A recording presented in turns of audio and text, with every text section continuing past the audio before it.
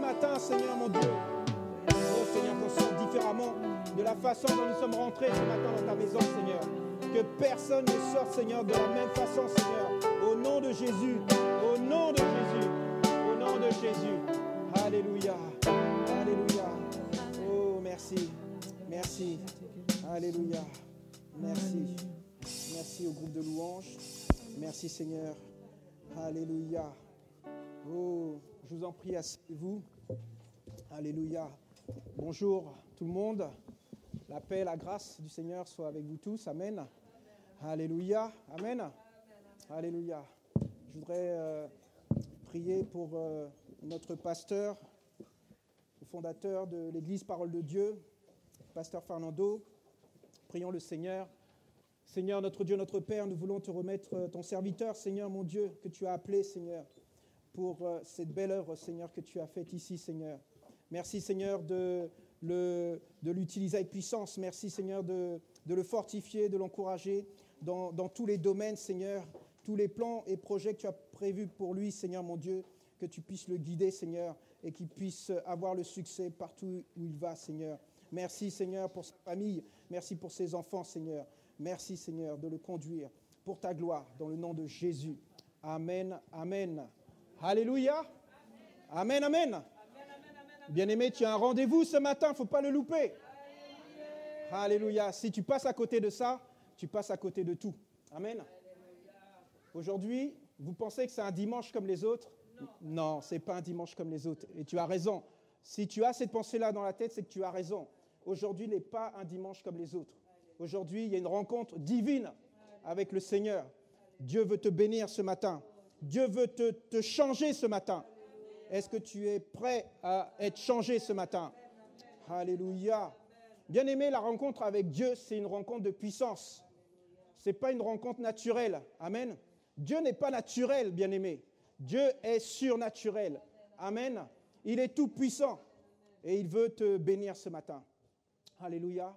Vous savez, aujourd'hui, on commémore la Pentecôte.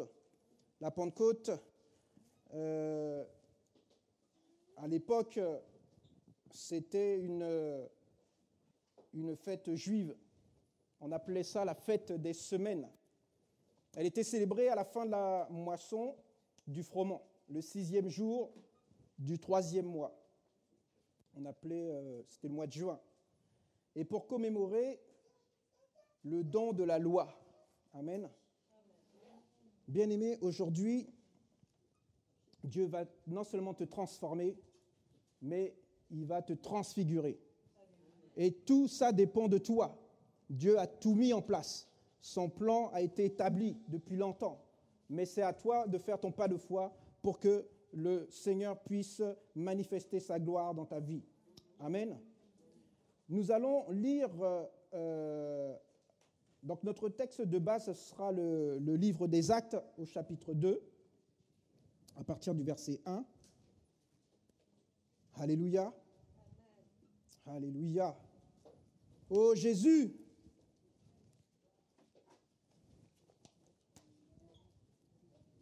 Quand vous y êtes, vous dites Amen. Alléluia. La Bible dit dans le livre des Actes chapitre 2, à partir du verset 1, Lorsqu'arriva le jour de la Pentecôte, ils étaient tous ensemble, en un même lieu. Tout à coup, il vint du ciel un bruit comme celui d'un vent violent qui remplit toute la maison où ils étaient assis. Des langues leur apparurent qui semblaient de feu et qui se séparaient les unes des autres. Il s'en posa sur chacun d'eux. Ils furent tous remplis du Saint-Esprit et se mirent à parler en d'autres langues selon ce que l'Esprit leur donnait d'énoncer.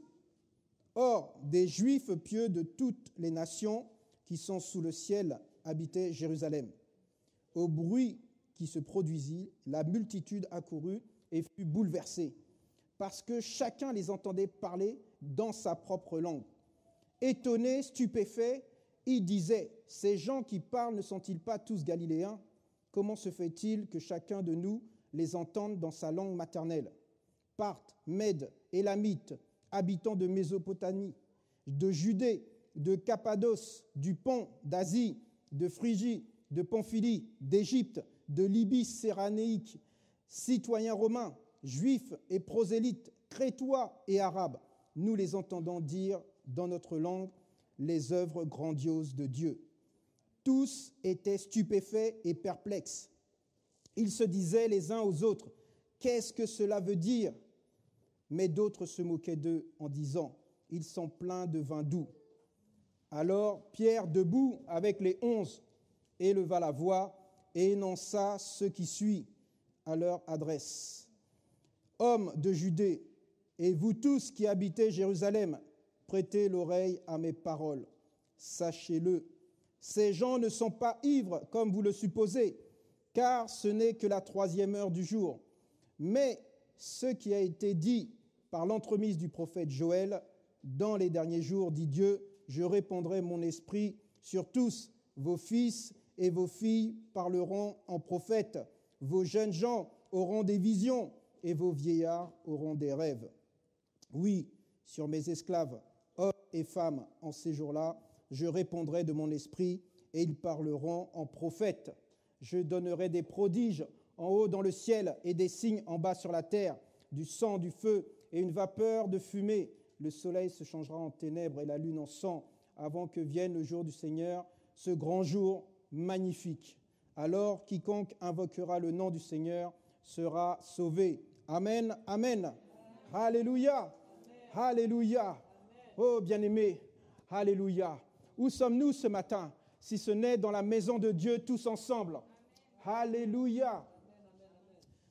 Donc on va rester sur les 14 premiers euh, versets de ce passage et nous allons un peu détailler ce qui est arrivé. Comme je vous disais, la rencontre avec Dieu doit être une rencontre merveilleuse. Moi, je me rappelle, lorsque j'ai rencontré Dieu en 1980, ça devait être 5 ou 86, c'était euh, lors d'une euh, convention. Il y avait une conférence avec Billy Graham à Paris. Et vous savez, lorsque vous faites votre rencontre avec Dieu, il y a quelque chose qui vous dépasse. Vous savez plus qu'est-ce qui se passe, vous, vous êtes bouleversé. C'est ça en fait. C'est tellement puissant que vous vous laissez emporter par le, le flot. Et ça, c'est le Saint-Esprit bien-aimé qui est descendu et qui est en train de nous embraser, qui est en train de nous euh, de, de, tout chambouler. Amen. Et donc, quand j'ai fait cette rencontre avec Dieu, nous, euh, voilà, tout, a, été bizarre dans, ma tête. Je me disais, qu'est-ce qui se passe? Mais Dieu était en train d'œuvrer. Et vous voyez, lorsqu'on rencontre Dieu, voilà ce qui se passe. Il y a ce chamboulement. Cette rencontre doit amener un, déraisonnement dans notre cerveau. Ce n'est pas humain, bien aimé. C'est surnaturel, c'est spirituel. Amen. Et donc, comme a, lu tout à l'heure le pasteur Freddy dans Actes chapitre 1 au verset 4, Jésus a rencontré ses disciples. Je me rappelle de cette histoire quand il a rencontré Pierre, quand il a rencontré Pierre qui était en train de pécher, et Jésus a fait un miracle. Jésus a fait un miracle, et c'est comme ça. Dieu, lorsqu'il y a une rencontre avec Dieu, Dieu manifeste sa puissance. Dieu est... Et souvent, lorsqu'on voit euh, euh, les, les, gens qui donnent leur vie à Dieu, c'est qu'il y a une rencontre et il y a eu quelque chose qui s'est produit. Et c'est là qu'ils ont décidé de suivre Jésus. Il y a souvent une manifestation de guérison, il y a une manifestation de restauration. Et là, on se dit, non, c'est pas possible. Oui, je veux, je veux être avec ce Dieu-là et je veux le suivre. Et donc, euh, les disciples avaient rencontré le Seigneur et donc ils avaient décidé de tout lâcher parce qu'ils avaient vécu quelque chose d'incroyable, d'invraisemblable, d'extraordinaire. Et donc, ils ont tout lâché pour suivre le Seigneur. Et ils ont marché avec le Seigneur. Le Seigneur les a enseignés, il les a instruits, il leur a montré tout ce que tout qu'ils faisaient. Et eux, ils étaient complètement euh, ébahis, effarés par ce que faisait le Seigneur Jésus-Christ. Amen. Et donc, euh, euh, le Seigneur leur a expliqué quel était le plan de Dieu. Et ils ont marché avec le Seigneur. Et à la fin, euh, le Seigneur, donc, vous savez, il a été crucifié et les disciples se sont dispersés parce qu'ils ils pensaient que c'était lui qui allait donc régler tous les, les problèmes qu'il y avait en Israël. Et ils se disaient, voilà, le Sauveur est arrivé, le Messie est là, voilà, les Romains, ils vont être renversés, voilà, le règne de Dieu est arrivé, Dieu, le Seigneur est venu nous, le Messie est venu nous sauver. Mais ce n'était pas comme ça, ça s'est passé. Jésus a été euh, donc arrêté, il a été crucifié, les disciples se sont dispersés, mais, mais, trois jours après, Jésus-Christ est ressuscité. Et Jésus s'est présenté aux disciples. Et là, tout, tout, a, tout est revenu, en fait, parce qu'ils pensaient que tout était terminé, mais en fait, non. Le Seigneur était en train de leur montrer que non, c'est que le début. Et donc, euh, lorsque le Seigneur Jésus a été ressuscité, il, est, il s'est montré euh, beaucoup de fois. Il a fait aussi, euh, il, il, a été voir les disciples plusieurs fois. Et donc, avant de partir au ciel, il leur a dit, au verset 4 de 1 chapitre, au chapitre 1 des Actes, il, comme il se trouvait avec eux, il leur enjoignit de ne pas s'éloigner de Jérusalem, mais d'attendre ce que le Père avait promis. Donc le Seigneur leur a promis qu'il n'allait pas les laisser orphelins, qu'il n'allait pas les laisser seuls, qu'il allait leur envoyer le Saint-Esprit, le consolateur. Amen. Donc il leur a dit, allez à Jérusalem et attendez ce que le Père a promis. Ce dont, dit-il, vous m'avez entendu parler. Jean a baptisé d'eau, mais vous, c'est un baptême dans l'Esprit Saint que vous recevrez d'ici peu de jours. Amen.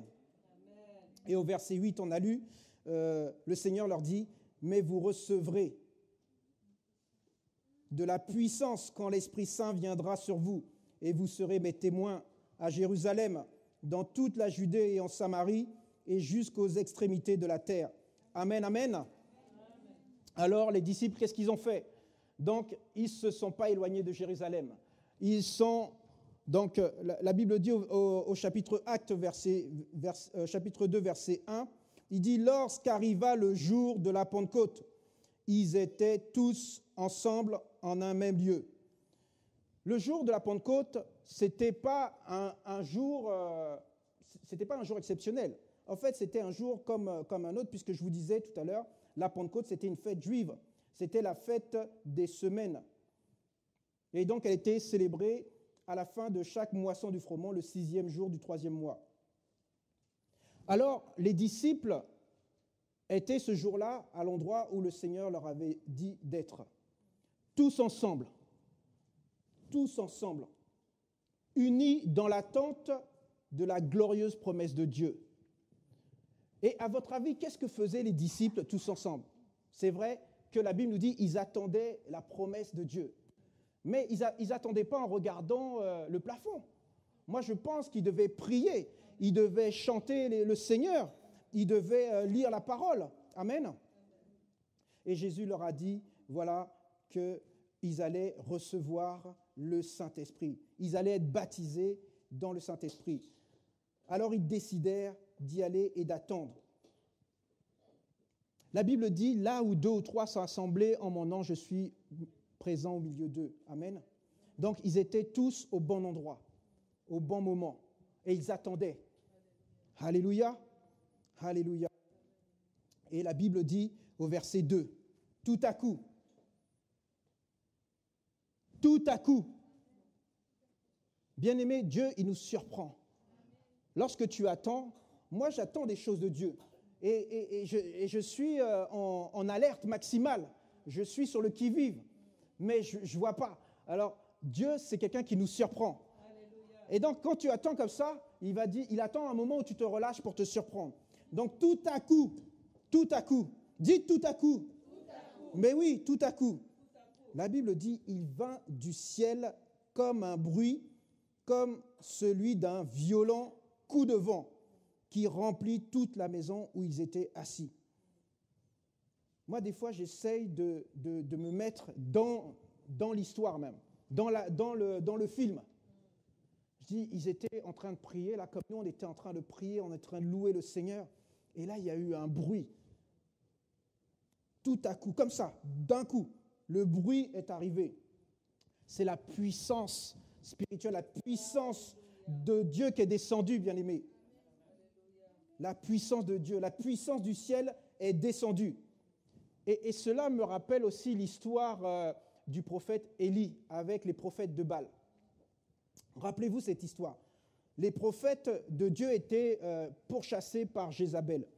Et donc Élie s'est retrouvé tout seul et tous les autres euh, prophètes, eux, ils se sont ralliés à Baal et tout, et ils étaient en train d'adorer le faux Dieu.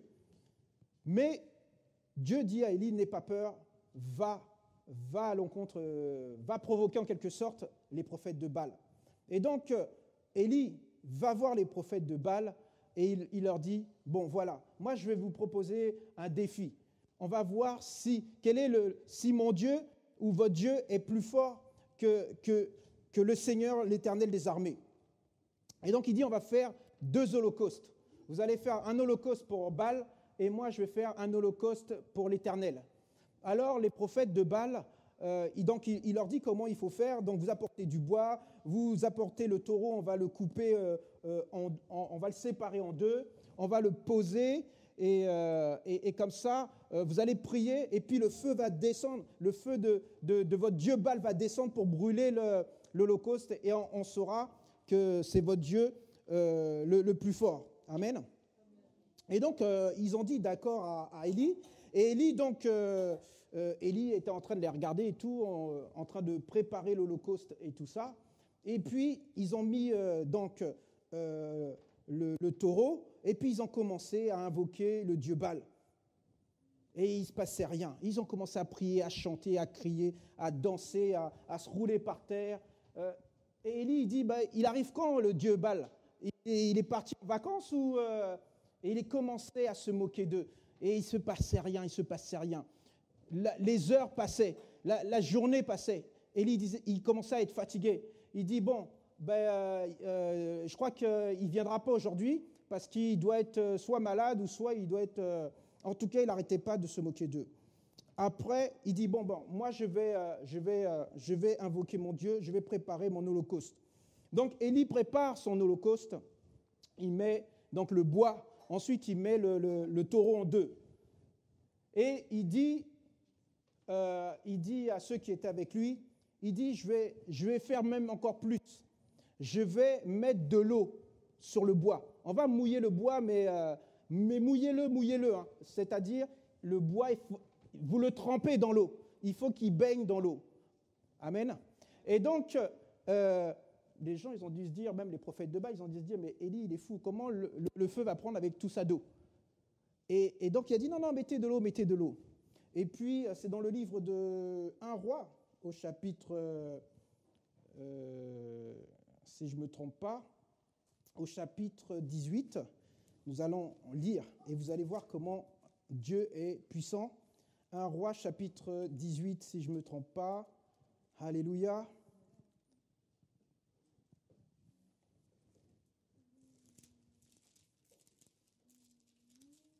Bien-aimé, on a un Dieu puissant. Est-ce que tu sais ça? Alléluia. Donc à partir du verset 36. Donc au moment de la présentation de l'offrande, de, de l'offrande à Dieu, Élie le prophète s'avança et dit, Seigneur Yahweh, Dieu d'Abraham, Dieu d'Isaac, Dieu d'Israël, que l'on sache aujourd'hui que c'est toi qui es Dieu en Israël, que je suis ton serviteur et que c'est par ta parole que j'ai fait tout cela. Réponds-moi, Seigneur, réponds-moi, afin que ce peuple sache que c'est toi, Seigneur, qui es Dieu, et c'est toi qui ramènes leur cœur. La Bible dit au verset 38, alors le feu, Alléluia, La Bible dit, alors le feu est descendu du ciel et tomba sur l'Holocauste, dévora l'Holocauste. Le bois, les pierres, la terre, l'eau s'assécha, tout ce qui était, ça brûlait. Je veux te, faire comprendre, bien-aimé, tu as un Dieu qui est puissant au-delà de, de, toute puissance que l'on peut imaginer. Même des choses, tu dis, non mais c'est pas possible, Dieu a consumé l'Holocauste. Bien-aimé, quand, le peuple a vu, a vu cela, ils tombèrent face contre terre et dirent, oui, c'est Jéhovah, Yahweh, le Seigneur qui est Dieu. Donc, je vous parlais de cette rencontre avec Dieu. Il y a une puissance, bien-aimée, de Dieu, et si tu n'as pas vécu ça, tu vas le vivre aujourd'hui. Amen. Alléluia. Donc, tout à coup, la puissance de Dieu est descendue dans cette maison. Le tout à coup de Dieu, bien-aimé. On peut lire dans le livre de Actes chapitre, chapitre 16, Actes chapitre 16, verset 25. Alléluia.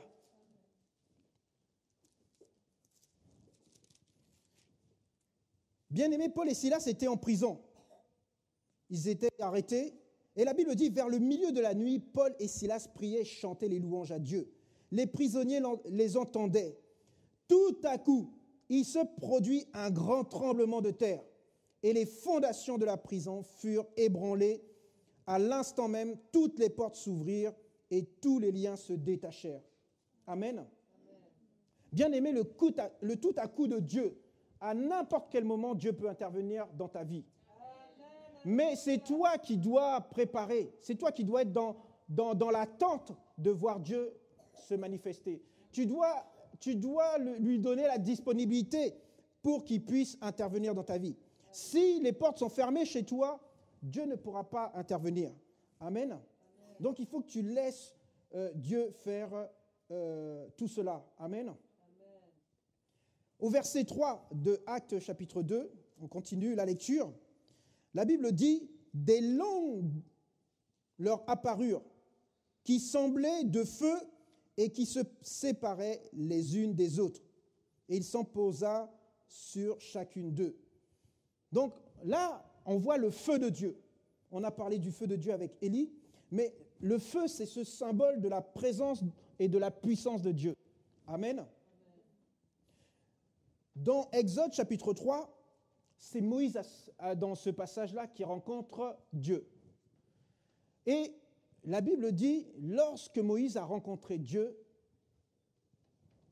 il a rencontré Dieu sous une forme, Dieu était sous une forme de feu qui brûlait un buisson.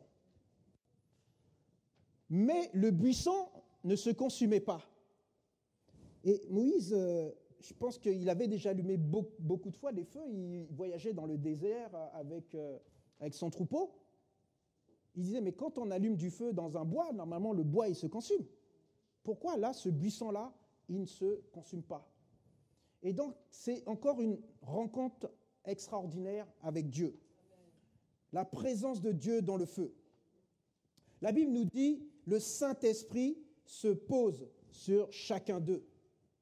Il y avait des longs de feu qui se séparaient et qui allaient sur chacun d'eux il y a ce transfert du royaume des cieux qui arrive sur chaque homme et sur chaque femme qui se trouve dans cette pièce-là.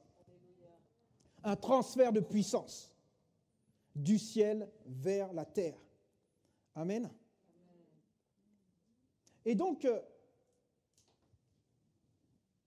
le Seigneur est en train de, comme on a lu tout à l'heure, euh, dans Actes chapitre 1, verset 8, il a dit, vous allez recevoir une puissance. Donc, ils vont être équipés d'une puissance pour être les témoins de Jésus.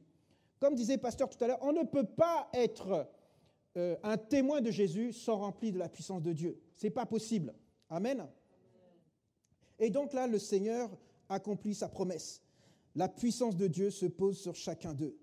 Au verset 4, la plénitude du Saint-Esprit. La Bible dit, ils furent tous remplis du Saint-Esprit et se mirent à parler en d'autres langues, selon ce que l'Esprit Saint leur donnait d'énoncer. Donc le Saint-Esprit vient sur nous pour nous transformer. Amen. Comme j'ai dit tout à l'heure, pour nous équiper. Et il vient aussi pour nous transfigurer. Mais vous allez me dire, mais pourquoi? C'est quoi transfigurer? Il vient nous transformer, mais comment en plus transfigurer? Bien aimé, il vient pour nous transfigurer. Ça veut dire que nous, aujourd'hui, enfants de Dieu, nous qui avons reçu Dieu, nous qui avons accepté la parole, puisqu'il dit à tous ceux qui ont reçu la parole, il a donné le pouvoir de devenir enfants de Dieu. Amen. Donc, on est enfant de Dieu. On est là. Vous allez recevoir une puissance. Bien aimé, il faut désirer cette puissance. Aujourd'hui, elle est disponible pour toi et pour moi. Elle est là, la puissance de Dieu. Et elle attend juste que tu ouvres ton cœur pour qu'elle descende sur toi. Amen. Cette puissance, Seigneur, va te donner une nouvelle identité.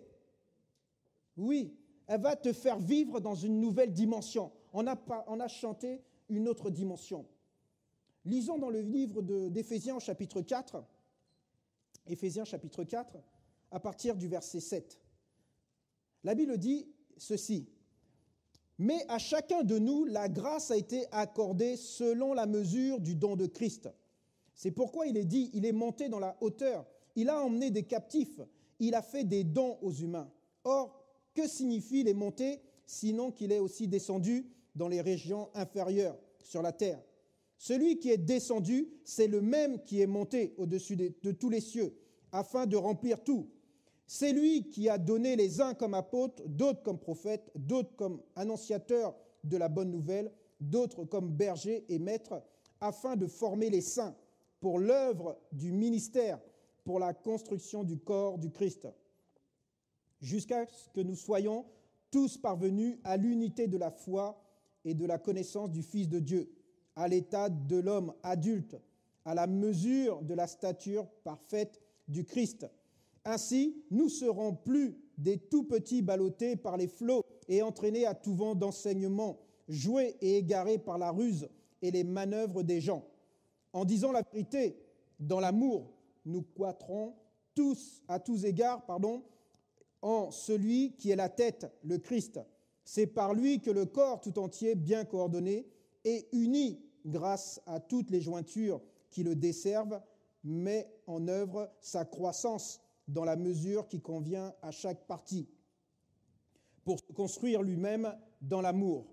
Amen. Donc voici ce que je dis et ce que j'atteste dans le Seigneur.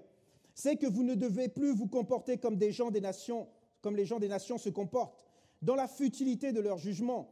Ils ont l'intelligence obscurcie, ils sont étrangers à la vie de Dieu à cause de l'ignorance qui est en eux, parce que leur cœur est obtus. Ayant perdu tout sens moral, ils se sont livrés à la débauche pour commettre avec avidité toutes sortes d'impuretés. Mais vous, ce n'est pas ainsi que vous avez appris le Christ, si du moins c'est bien lui que vous avez entendu, et si c'est en lui que vous avez été instruit, conformément à la vérité qui est en Jésus, il s'agit de vous défaire de l'homme ancien à votre conduite passée, qui correspond à votre conduite passée, et qui périt sous l'effet des désirs trompeurs d'être renouvelé par l'Esprit Saint dans votre intelligence, de revêtir l'homme nouveau qui a été créé selon Dieu dans la justice et la sainteté que produit la vérité. Rejetez donc le mensonge et que chacun de vous parle avec vérité à son prochain, car nous faisons partie les uns des autres. Si vous vous mettez en colère, ne péchez pas, que le soleil ne se couche pas sur votre irritation. Ne laissez pas de place au diable que le voleur ne vole plus et qu'il se donne plutôt la peine à travailler honnêtement de ses propres mains pour avoir de quoi donner à celui qui est dans le besoin. Qu'il ne sorte de votre bouche aucune parole malsaine, mais s'il en est besoin, une bonne parole qui soit constructive et communique une grâce à ceux qui l'entendent. Bien-aimés, n'attristez pas le Saint-Esprit de Dieu par lequel vous avez été scellés pour un jour de rédemption, que toute amertume, animosité colère, clameur, calomnie, ainsi que toute malfaisance soit enlevée du milieu de vous. Soyez bons les uns envers les autres, pleins d'une tendre bienveillance. Faites-vous grâce comme Dieu vous a fait grâce dans le Christ. Amen. Alléluia. Bien-aimés, nous, enfants de Dieu, nous devons exprimer ces choses. Oui, ça va être, euh, vous pensez, c'est invraisemblable, ce n'est pas possible. Mais la Bible dit que tout est possible à celui qui croit. Amen. Bien-aimé, lorsque tu es revêtu du, Saint-Esprit, la Bible dit dans le livre de Marc chapitre 16 verset 17, Voici les signes et les miracles qui accompagneront ceux qui auront cru. Amen. Donc qu'est-ce qu'ils vont faire? Ils vont faire des miracles. Marc chapitre 16 verset 17 et 18. Je lis la parole de Dieu. Amen. Et donc, il dit, voici les signes qui accompagneront ceux qui deviendront croyants. Par mon nom, ils chasseront les démons. Ils parleront des langues nouvelles. Ils saisiront des serpents. Et s'ils boivent un breuvage mortel, quel soit, qu'il soit, il ne leur fera aucun mal. Ils poseront les mains sur les malades et ceux-ci seront guéris. Amen. On voit encore dans, un autre passage euh, de la Bible, Acte chapitre 19, verset 6.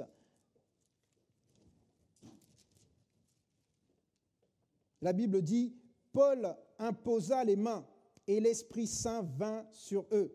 Ils se mirent à parler en d'autres langues et à s'exprimer comme à s'exprimer en prophète. Amen. Donc lorsque le Saint-Esprit bien-aimé vient sur toi, il y a un changement. Il y a une transformation. Tu es transfiguré, tu n'es plus la même personne. Et on va voir, on va continuer dans, le texte euh, donc le parler en langue, c'est la langue nationale du royaume des cieux. Amen. En France, on parle français. Aux États-Unis, vous allez parler euh, euh, l'anglais. Mais dans le royaume des cieux, on parle en langue. Amen.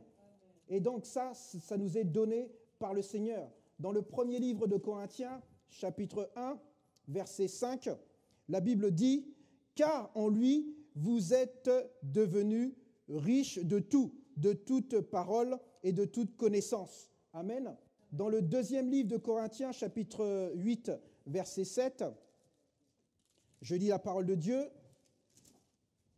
Il est écrit, de même, vous avez tout en abondance, foi, parole, connaissance, empressement de, toutes sortes, outre l'amour que nous vous portons, abondez aussi dans cette œuvre de grâce. Amen.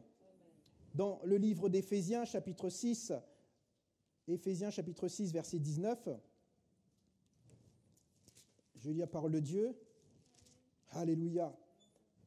La Bible dit, pour moi aussi, afin que la parole, quand j'ouvre la bouche, me soit donnée pour que je fasse connaître avec assurance le mystère de la bonne nouvelle, pour lequel je suis ambassadeur dans les chaînes, que j'en parle avec assurance comme je dois en parler. Donc, Dieu vous, vous met des paroles spirituelles en vous. Vous n'êtes plus le même. C'est le Saint-Esprit qui est en train de parler. Le Saint-Esprit leur donne de faire. Ils n'ont plus le contrôle. Alléluia. Bien aimé, si tu as encore le contrôle, c'est que tu ne laisses pas la liberté au Saint-Esprit d'agir. Tu ne laisses pas au Saint-Esprit de se manifester afin qu'il touche les cœurs et qu'il fasse ce, ce qu'il doit faire. La Bible dit, ils sont remplis de l'Esprit Saint. Le livre de Romains chapitre 8 verset 14, il dit, car tous ceux qui sont conduits par le Saint-Esprit sont fils de Dieu. Amen. Donc nous devons nous laisser conduire par le Saint-Esprit. Amen. Acte chapitre 2, toujours, on revient sur euh, notre texte de base, au verset 5. La Bible dit, Or des Juifs pieux de toutes les nations qui sont sous le ciel habitaient à Jérusalem. Des hommes pieux, des religieux. Bien-aimé, Dieu a convoqué tous les hommes pieux, les religieux du monde entier. Et ils sont venus à Jérusalem. Dieu les a convoqués et à ce moment-là, la Bible nous dit qu'ils étaient tous de différentes nations, on va le voir après, ils sont venus là, ce jour-là. Ils viennent de partout et eux, ils sont à Jérusalem. Verset 6, la manifestation. Au bruit qui se produisit, la multitude accourut et fut bouleversée parce que chacun les entendait parler dans sa propre langue. Au bruit, bien-aimés, On a parlé du bruit tout à l'heure. Il y a un bruit qui s'est passé lorsque le, Saint-Esprit est descendu dans cette maison. Donc, les, les, gens se sont empressés de voir qu'est-ce qui se passait. Est-ce qu'il y avait un attentat, comme nous, on peut le voir maintenant à notre époque Mais la Bible nous dit que c'est quand l'Esprit de Dieu s'est manifesté, il s'est passé un bruit, un bruit, si vous voulez.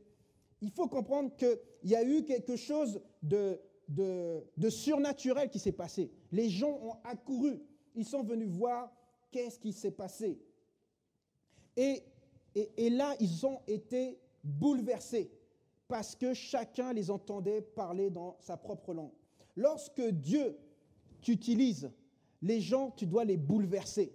Tu dois, ils doivent être confondus par ta parole, par ton attitude, par, euh, par tes actions. Amen. Nous devons bouleverser les gens, nous devons les chambouler, nous devons les déranger, nous devons les troubler. Si tu n'arrives pas à faire ça, c'est qu'il manque encore quelque chose. Il faut que tu, es un ambassadeur de Christ, tu es citoyen des cieux, tu es enfant de Dieu, bien-aimé. La Bible dit que tu n'appartiens plus à ce monde-là. Amen. Donc il faut que tu te mettes dans la peau du citoyen des cieux. Tu, représentes le Seigneur ici. Et donc quand tu marches, les gens doivent être bouleversés. Mais comment il marche comme ça? Il marche bizarrement. Non, tu as le feu de Dieu en toi. Tu as le Saint-Esprit. Amen. Et donc tu dois leur apporter euh, des changements dans leur vie.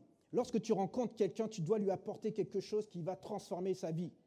Parce que c'est à cela qu'on est appelé. Dieu nous a donné une mission à toi et à moi. Il a dit, faites de toutes les nations des disciples. Amen. Annoncez la bonne nouvelle de Jésus-Christ. Alléluia. Verset 7 étonné, stupéfait, il disait, ces gens qui parlent ne sont-ils pas tous galiléens? Donc vous voyez qu'il y a eu ce changement. Lorsque l'Esprit de Dieu est tombé sur eux, les gens les connaissaient. Ils disaient, mais ce n'est pas des Galiléens, ces gens-là. Comment ça se fait On les entend parler de notre langue naturelle, non notre langue maternelle. Il y a un changement qui se produit. Amen. Et c'est Dieu qui fait ça en nous. la stupéfaction, les gens doivent être remplis d'étonnement et d'admiration envers toi. Tu es un enfant de Dieu, tu n'es pas n'importe qui. Par l'action du Saint-Esprit, tu vois ce que fait le Saint-Esprit lorsqu'il agit en toi. Les gens, ils te regardent différemment. Ils disent non, il y a quelque chose en lui. Et, même dans, ton être, Pasteur Fernando, il disait des fois, on voit tes yeux qui brillent. Il y a quelque chose en toi, bien-aimé. Ça, tu dois le montrer. Jésus, il dit, vous êtes la lumière du monde. Donc, notre lumière doit éclairer les autres. Tu ne peux pas rester celle que tu es aujourd'hui. Tu dois changer. Tu dois demander à Dieu d'être euh, le témoin que tu dois être. On aura des comptes à rendre, bien-aimé. Il a dit, voilà, tu as accepté d'être mon enfant, mais qu'as-tu fait? Rappelez-vous la parabole des talents. Tu vas dire à Dieu, ah Seigneur, oui, c'est vrai, j'ai accepté, mais bon, tu, sais, euh, je suis timide. Il va te dire quoi? Tu es timide Moi, je ne t'ai pas donné un esprit de timidité. Fais attention, réfléchis bien à ce que tu vas dire au Seigneur, parce qu'il a réponse à tout. Donc, euh, il faut faire attention. Amen. Donc, le Saint-Esprit est en toi. Tu n'es plus le même. Tu, dois être dépassé même. Tu dis, mais qu'est-ce que j'ai dit? Mais c'est pas moi qui ai parlé.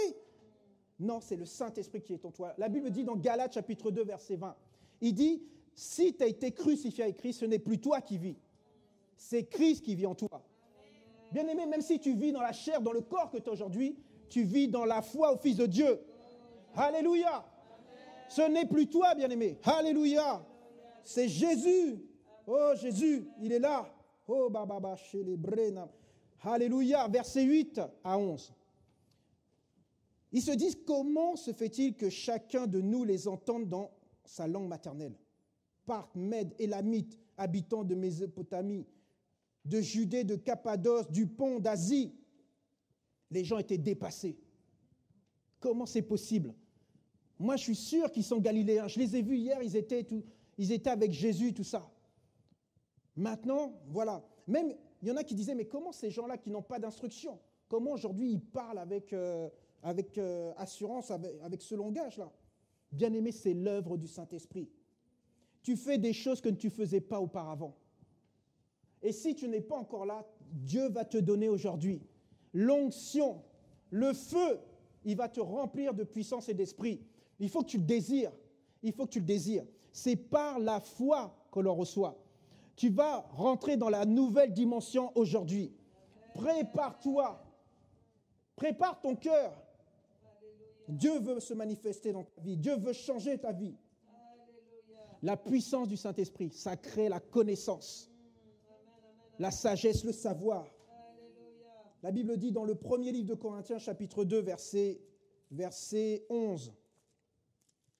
Je lis la parole de Dieu. Alléluia. Oh Jésus. 2, 1 Corinthiens, pardon, chapitre 2, verset 11. Il dit Qui donc parmi les humains sait ce qui relève de l'humain, sinon l'esprit de l'humain qui est en lui De même, personne ne connaît ce qui relève de Dieu, sinon l'esprit de Dieu. Bien-aimé, le Saint-Esprit en toi va te révéler toutes les choses de Dieu. Dieu connaît toutes choses, vous savez. Dieu est omniscient. Donc il va te révéler des choses cachées que tu ne connais pas encore. Le Seigneur, il veut te bénir ce matin. Alléluia. Es-tu prêt? Oh Jésus. Acte 2, verset 12. Tous étaient stupéfaits et perplexes. Ils se disaient les uns aux autres, mais qu'est-ce que cela veut dire? Ils ne comprenaient rien. La perplexité. Ils étaient hors d'eux.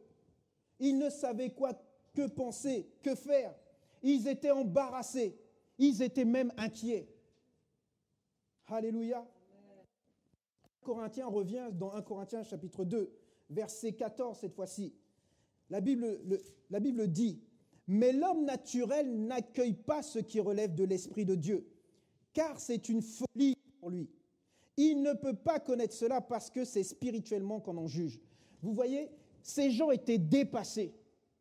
Ils ne comprenaient rien parce que c'est spirituellement qu'on peut recevoir ces choses-là. Amen. Ça, c'était le constat de leur ignorance. Alléluia. Acte 2, verset 13. Mais d'autres encore se moquaient d'eux en disant, ils sont pleins de vin doux. Alors eux, n'en parlons même pas. Eux, ils étaient complètement à l'ouest. Ils n'ont rien compris. Eux, ils sont carrément moqués. Ça, il les calomniait, il les accusait de, de, fausseté, il les diffamait, il les ils attaquaient même leur réputation et leur honneur. Donc ces gens-là, il ne faut même pas y prêter attention. Parce que nous allons rencontrer des gens comme ça. Je vous assure. On a parlé de la persécution. Il y a des gens qui vont se moquer de, toi. Mais toi, tu as la puissance de Dieu. Lui, il ne faut même pas prêter attention à lui.